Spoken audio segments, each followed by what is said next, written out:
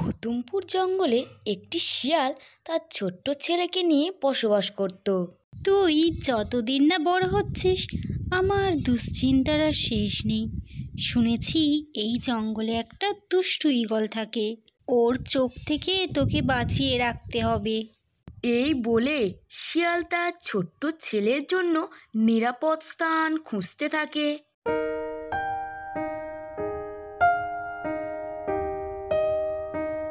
এই তো পেয়েছি। এই গর্তের মধ্যেই আমার বাচ্চাকে লুকিয়ে রাখব।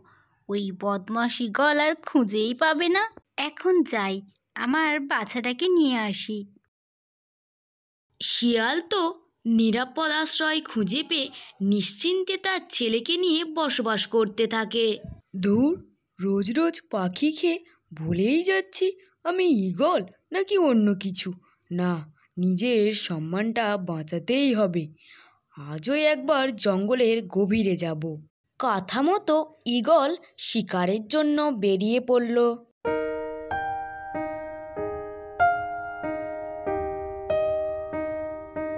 ধুর, এমন একটা জঙ্গলে আছি, একটাও শিকার নেই। আর কতক্ষণ অপেক্ষা করব? চলেই যাই, সেই যখন পাখি খেয়েই থাকতে হবে, পেটকে এত কষ্ট দিয়ে লাভ কি? ঈগল যখন নিরাশ হয়ে ফিরে যাবে বলে ঠিক করছে, আর তখনই আরে, একটা শিয়াল না? হ্যাঁ ঠিক শিয়ালই তো। কিন্তু ও এভাবে আশেপাশে কি দেখছে? ব্যাপারটা দেখতে হচ্ছে তো চলে গেলে হবে না। এই বলে ঈগল শিয়ালের উপর নজর রাখতে থাকে। না আশেপাশে কেউ নেই। চল বাছা তোকে নিয়ে শিকার করে আসি। চলো মা আমার খুব খিদে পেয়েছে। চুপ চুপ এত চিৎকার করিস না। মা আমি যদি সবসময় চুপ করেই থাকি তাহলে তো কথা বলতেই ভুলে যাব। সত্যি তুই পারিসও বটে। মা এবার কিন্তু তুমি দেরি করছ। ও মা আমরা আজ কি খাব গো? আগে তো চল গিয়ে দেখি কি শিকার পাই তারপরেই তো ঠিক হবে কি খাব আমরা। এই চল চল অনেক কথা হয়ে গিয়েছে।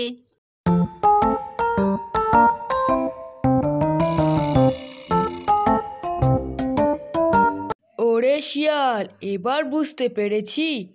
তুই কেন আশেপাশে দেখছিলিস? তোর বাচ্চাকে তো আজ আমি খাবই। বাছা তাড়াতাড়ি আমার সাথে পা চালিয়ে চল।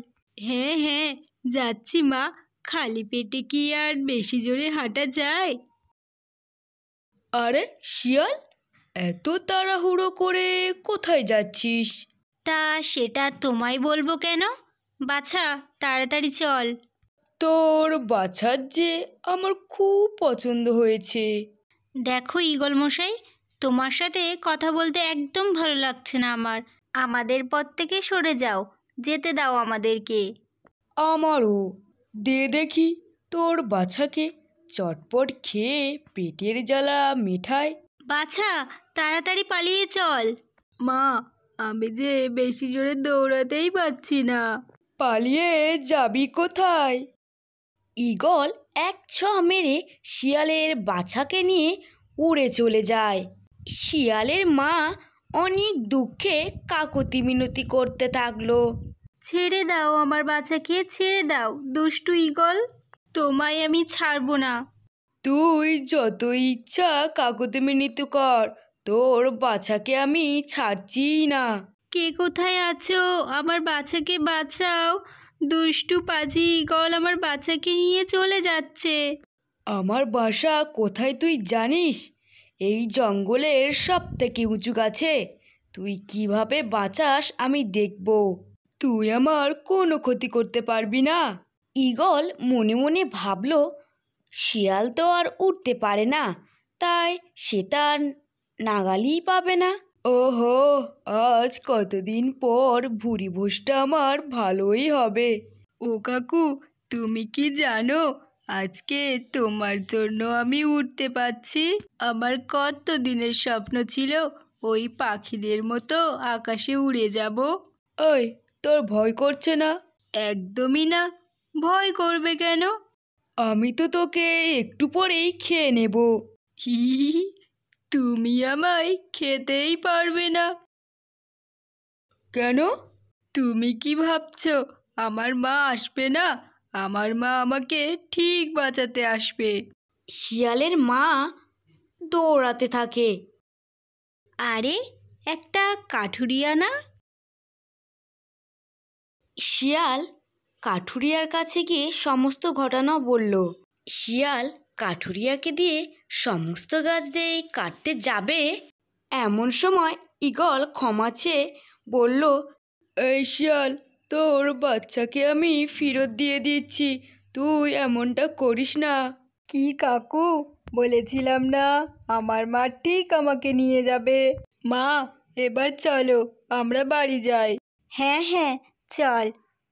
কাঠুরিয়া দাদা, তোমাকে অনেক ধন্যবাদ।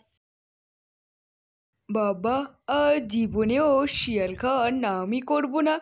ওই পাখি আমার জন্য ভালো। কি সাংঘাতিক শিয়াল রে বাবা। তারপর তো শিয়াল তার বাছাকে নিয়ে বাড়ি ফিরে যায়।